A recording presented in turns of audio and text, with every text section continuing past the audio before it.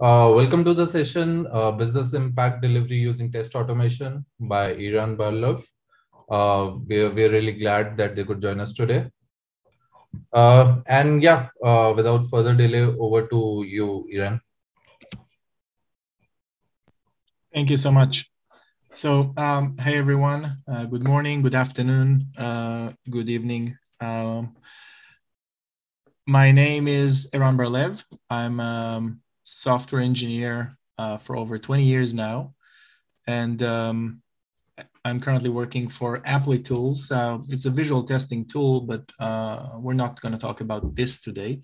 We're going to talk about the automation world and why it is uh, important for every business uh, to shift towards uh, automation.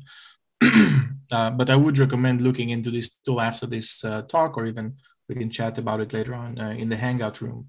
Um, I founded the, the Canadian Software Testing Board, which is part of the ISTQB. Um, I lived in Canada for 10 years. Now I'm based in California. Sorry, I didn't say that at the beginning. Um, and my true passion is automation. Um, I'm automating everything at work from web, mobile, desktop applications, uh, all the way through home. Uh, my entire home is uh, wired with every smart device I can talk to. Um, I believe I'm, I'm very passionate about it, like I said. Uh, I think it makes our lives easier, and obviously, it makes our uh, work easier when we automate it and when we automate our processes um, uh, right. And it improves um, our uh, business outcomes, and that's uh, that's the goal, basically, at the end of the day, um, uh, for our employers. So what we're going to talk about today is uh, why is it basically uh, important and where do we start basically uh, when we are looking at uh, automation. So um, if we're looking back um, to uh, the year 2000, uh, since then, more than 50% of Fortune 500 companies disappeared. Uh, the reason for that is that they didn't catch up with uh, with the, the digital world, we'll call it, or the, the technological shift. Um, they needed to move rapidly and to catch up with you know the increasing demand uh, from the end users, uh, from their customers, and businesses that didn't catch up lost to competition that did automate processes and improve their uh, digital footprint. oh, sorry. So, what is um, software uh, test automation? Um, it's basically a software testing method, which is uh, which uses other tools uh, to test the software that you've built. Uh, we have expected results in mind, and we are putting uh, our system through this automated process that's normally uh, uh, time consuming, it's normally repetitive, and we're trying to automate everything that we're doing manually. So today, a lot of companies are still doing a lot of manual testing. Um, we've seen a major change, obviously, in the past few years, um, where large organizations uh, move towards some extent of uh, test automation, but they're not at the full, you know, uh, uh coverage. I would say. Uh, uh, of, of course, when you get to that high um, rate of coverage, this is where you'll see most benefit of um, your test automation investment. Now, um, the the traditional product um, life cycle um, is constantly shrinking. Now, when I'm saying uh, shrinking, uh, I'm talking about where it used to be uh, years or months to release a product update. Uh, we're now seeing that being shrunk to days uh, or even sometimes hours. Um, I, I, used to work for a CI/CD provider um, a few years ago, and uh, the the need there for constantly de- delivering the CI/CD uh, concept uh, means that they want to push things uh, to market as soon as they're ready. So, in order to achieve that, they have to have all the moving pieces from the code through the testing, through the deployment, everything connected with zero friction. And testing was a big part of it because you don't want to hit the publish button before you got your uh, test coverage. And this is why QA was tend to be um, uh, the bottleneck because we we used to stop everything until we're done with our testing. So we don't want to be that bottleneck, and this is why it's the pressure is on us to basically uh, uh, automate uh, our tests. Now, the consumers, our customers, uh, they demand for high degree of responsiveness. This means that um, our traditional uh, uh, go-to-market cycles has to be shorter, like we mentioned earlier, and we need to also be able to respond fast. Uh, the problem is if we do not respond fast, uh, our customers have so many alternatives alternatives today, right? I mean, if you go to a website and you try to buy to buy something, sorry, um, it doesn't work. You don't give it a second chance anymore. You jump back to Google and you move to the next uh, result or the next provider. Or there's, you know, if for example in Amazon they don't deliver it the, the next day, you'll just keep on looking until you find the vendor that does deliver the next day. Um, so that's a lot of pressure on businesses, and uh, this is why we have to uh, uh, uh, uh streamline the entire operation. Now, it is so complex um, because our consumers are consuming our brand uh, across everywhere. And what we're seeing here is basically not only our infrastructure, our system itself became complex with uh, millions of microservices that we have internally, uh, the complexity adds up and the, the, permutations are becoming infinite in terms of what operating systems our, our end users are uh, consuming us on. And speaking of operating systems, of course, of course, each of them has its own version. Um, uh, on top of that, we have the browsers that everybody's using, and this is just obviously a partial list, and multiply that by the number of devices and, and screen sizes that they're consuming it, all the way from an iWatch to, to your TV, uh, from Xbox to Switch, from your iPhone to your uh, uh PC. Like it's infinite. And they're demanding the same service from your website through your, your uh, mobile app uh, through your uh, phone application, for example. And again, the pressure is on us on QA team because we need to automate all of that and to be able to give the thumbs up to go to uh, to go to production. There's another team member in that life cycle. So there is the developers and there is the, the QA team, but there's also the DevOps engineers. The Dev, DevOps are kind of like the glue that puts everything to that puts everyone together. Um, it is uh, uh, obviously gaining uh, high uh, uh, uh, popularity in the software development world in the recent years. Um, and what they're doing is, like I said, they're connecting the dots between everyone, making sure that this pipeline is streamlined perfectly from uh, the build of the project, from the testing of the project on staging, and when all the systems are green, all the thumbs are up, uh, we're pushing to uh, production. So there is also uh, that uh, piece of the puzzle. Now, I mentioned earlier about uh, investment, and there is a, a obviously a, a, high upfront investment, and the initial phase of the automation um, it, it, it it will pay up for itself very quickly. Uh, the minute we start seeing uh, time savings, and not only that, but also catching bugs that you and I cannot achieve by using manual testing. Because in manual testing, we're limited to the number of hours and the number of resources that are assigned to, uh, to a certain um, task. But with test automation, the machine can run over and over again without getting tired and without missing out on any uh, small piece that's broken in the system. Uh, you and I will miss out, you know, a small icon missing at the footer of the page, but the machine not. You and I will miss a typo, but the machine won't. So uh, when we need to put more uh, uh, focus on letting the machine test and try to give the machine more uh, power to evaluate our software. Uh, and we will orchestrate all of that. We will look at the test results, we will set the expected result, and we will maintain it uh, um, as we go along. Now, um, a, a, huge um, impact of the success of the whole process is by choosing the right uh, tools. Um, so instead of you know going shopping and choosing uh, what uh, tools we need to uh, uh, use, we need to first look inside and understand what are we trying to solve here.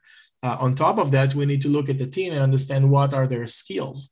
Uh, what skills are in the market. Uh, you know, you don't want to pick a niche tool that no one else uses, uh, and then you it will be you know very hard to find uh, team members who can operate that tool, who can write scripts for it. For example, I've seen a lot of cases where large organizations uh, create their own flavor of you know uh, open source tools and uh, it's very hard for them to find people who wants to use it. And then at some point sometimes open source projects are dead.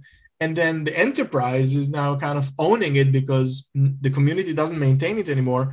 But they they base their entire test automation framework around it. So that's um, so that's uh, uh that's a huge risk. Uh, so it's very tricky. And you have like i said at the beginning you have to ask yourself what's my goal what do i want to test and what's the most commonly used tool uh, uh, in the market. It doesn't have to be open source and free. Of course, it's ideal, um, but sometimes you might want to go with the paid tool. Uh, there are advantages for that. I mean, you get proper support, you get uh, you know uh, uh constant updates coming out, and the community won't drop the ball on it. Um, and then you'll be stranded with a tool that no one maintains. And now it's up to you, or you'll have to switch to another tool, which is a headache by itself migrating from one tool to another. So tools is one. Second is language, right? I mean, these are the most popular uh, uh, uh, languages in the in the software testing uh, field, I will say. Um, JavaScript is on top, Python right after that, Java, Java and C Sharp. There is, you know, there, there, are more after that, but these are the most commonly uh, uh, used languages. so make sure that your team is familiar with them, and you know, they, if not, it's most of them are easy to pick up um, uh, especially for uh, test scripting uh, um, capabilities. So the scope that we're going for, um, you should never aim for 100% test automation. Uh, uh, in many cases, it's not even an ideal situation because uh, there are, you know, parts of the application that has more impact on the business and other parts that have less. Um, some test cases might be better handled through manual testing, uh, and automation just add additional burden on those cases. Uh, sometimes the, the effort you're putting on uh, to test a certain component that's used maybe half a percent of, of your users um, is not worth it. So you have to understand even and work with product to, to put priorities on where do you start and what coverage uh, are you going for. Uh, try to stay away from that 100%. It's just, I've never seen that actually uh, happen or even uh, the goal. Um, now, once you implemented your test framework, it's not done. It's not like a one-time effort. I've seen companies make a mistake by asking R&D to set up the test framework for the QA team, which was manual, uh, manual testers, and just tell them, okay, prepare the test framework for the manual tester that all they need to do is hit the run button but it doesn't end there because the, the product keeps on changing. So you need to keep changing or catching up uh, with your test framework. So this means that you can't have uh, uh, all manual testers on your team that just click the, the run button. You have to have automation, uh, test automation engineers on your team that can edit uh, uh, and modify or add uh, new scripts, new use cases, or modify them when your uh, website or application changes, uh, and keep up with that. now, in order to um, pick the right uh, framework, like I said, you need to understand what you're looking at. So here's an example of you know uh, frameworks and tools that are out there in the market. Um, they're open source, um, free, and you can use them today. Um, obviously, we're at the Appium Lite conference, so Appium is one of them, focused on mobile devices. Um, Selenium is geared towards web uh, testing. Uh, Robot Framework um, is more of a keyword driven. You have like a, a table of fields where you can define you know the url you're going to the the the values you're going to send to certain fields and so on and so on. So it's kind of like an elaborated Excel sheet uh, testing approach. Um, and Cucumber is uh, another tool. It's called uh, the, the tool category. It's called BDD, uh, behavior behavior uh, driven design, which means that you are writing uh, the story of the test or the, the use case in literal world words that we can understand, such as user enter website, add product to cart, check out a product from cart, uh, enter credit card, login, and so on and so on. You literally build a storyline, and that story is translated into your scripts that you someone has to write them behind the scenes. So all these, at the end of the day, behind um, uh, behind them, um, uh, there is scripting required. Uh, these are not the record and playback tools that are in the market. Um, they're great. Um, uh, we're using uh, quite a few of them, um, but they're good for certain uh, use cases. Uh, at some point, you um, uh, you encounter more complex scenarios where you need uh, full control, for example, of the application, um, and for that you will need um, a test automation engineer that can actually write a script. I think I'm just in time. We have four, four minutes, right? Two minutes. Questions? Let's look at the chat here. Yep. Okay. So folks, so that you, can, you can ask the questions in Q&A if uh, you have some. Till that time, I can ask one. Uh, uh, with with the languages that you mentioned, like JavaScript, looks like uh, a developer already knows these languages. So, do you? Yes. What's your opinion on uh, a QA engineer doing the automation versus uh, giving that responsibility to the developers themselves? Oh, that's a very loaded question. um, I don't think it's the right thing to do um, QA and developers, you know, I used to joke they're like dogs and cats. Like they never get along because they have a different mindset, right? Yeah. They yeah. look at things differently. The developer just wants to, you know, finish writing new features. That's all they're obsessed about. Where yeah. QA, we're, you know, we're more uh, geared towards it has to be perfect. It has to work. I'm I'm paying attention to this, you know, the smallest details. Um, um, I'm not saying uh, software engineers don't do that, but they have a different goal in mind. So when you're obsessed with a new feature you're working on, you're going to miss out on, oops, I broke something else on the way of building that new feature.